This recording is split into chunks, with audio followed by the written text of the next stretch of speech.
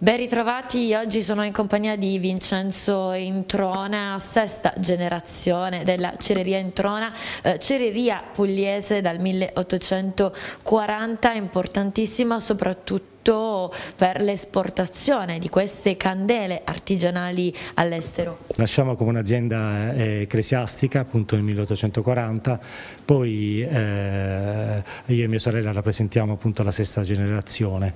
Abbiamo eh, aumentato molto le nostre vendite all'estero, soprattutto nell'ultimo nell anno eh, fino ad, ad, ad, avere anche delle menzioni da parte di testate importanti come il New York Times e questo ci ha reso molto orgogliosi. Ormai il cliente si affaccia a noi e noi facciamo proprio un abito sartoriale, ci indica quali prodotti eh, vorrebbe realizzare e noi insieme con lui capiamo la, la, qualità, il tipo di candela che si può spostare meglio col suo progetto.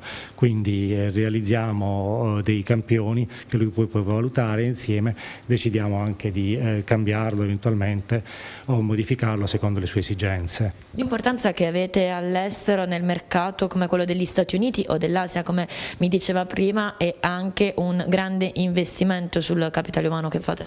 Sì, infatti ultimamente abbiamo anche eh, dovuto e potuto assumere eh, diverse persone che eh, contribuiscono e ci aiutano nel eh, assolvere a tutti gli ordini che eh, sono pervenuti nell'ultimo nell periodo.